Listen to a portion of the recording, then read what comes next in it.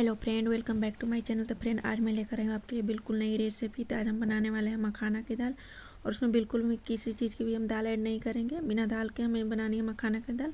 तो सिर्फ़ फुल मखाना ही हम डालेंगे। सिर्फ़ मखाना की हमारी दाल बनकर तैयार होगी। और अगर वीडियो अच्छा लगेगा फ्रेंड तो वीडियो को लाइक ज़रूर करना और चैनल को सब्सक्राइब करना। अगर चैनल पर नया है, अभी तक सब्सक्राइब नहीं किए हैं तो जिससे मुझे आप लोग की सपोर्ट मिले। मुझे आप लोग के सपोर्ट की बहुत ज़रूरत है। तो चलिए हम बनाना स्टार्ट करें। बहुत टेस्टी दाल बनकर तैयार हुआ था। सबसे पहले हमें यहाँ पर देखिए, कढ़ाई बैठा ली है, एक चम्मच देसी घी डाले हैं, देसी घी में हमें बनानी है और यहाँ पर एक कप में मखाना ले ली हूँ। इसे अच्छी तरह से हमें भून लेनी है। तो देखिए, ये भुना गया अब इसको हम एक बर्तन में निकाल लिया उसी कढ़ाई में यहाँ पर एक बड़ा चम्मच तेल डाल दी हूँ और एक प्याज को मैं लंबा लंबा कट कर ली हूँ। उसे हमें इस तरह से भून लेनी है। उसके बाद हमें दो टमाटर ले ली हूँ। दो टमाटर को इस तरह से मैं कट कर ली उसे भी हमें अच्छी तरह से भून लेनी है। उसके बाद देखिए उस पैन में फिर से दो चम्मच तेल डाल दिए हैं और उसमें एक, दो चम्मच में भर के जीरा डाली हूँ। जीरा जैसे ही हमारा तड़क जाएगा देखिए दो चम्मच में जीरा डाल दी हूँ जीरा हमारा तड़क गया हो, यहाँ पर मैं गैस को बंद कर रही हूँ, ध्यान रखना ध्यान रखना, गैस बंद कर देना है उसके बाद। उसके बाद मैं एक चम्मच हल्दी पाउडर, एक चम्मच देगी मिर्च डाली हूँ, गैस बंद करके ही डाली, नहीं तो जल जाता है हल्दी और मिर्च।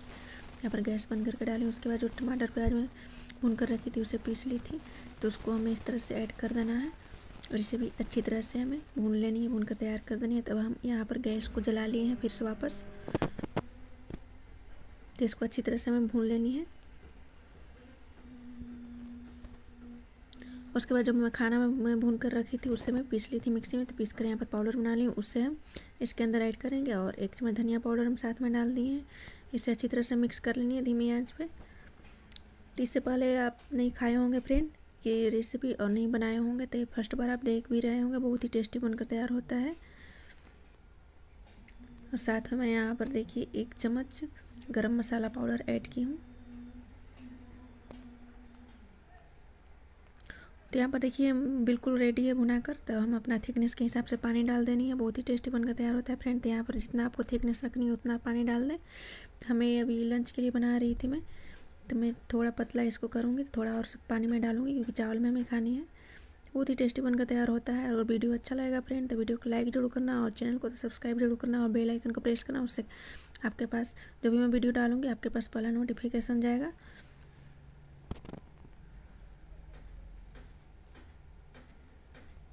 तब इसको हमें बॉयल आने की वेट कर लेनी है। तो देखिए, इस तरह से हमको थिकनेस रखनी है। आपको जितना रखनी है, अपने हिसाब से पानी डाल दें।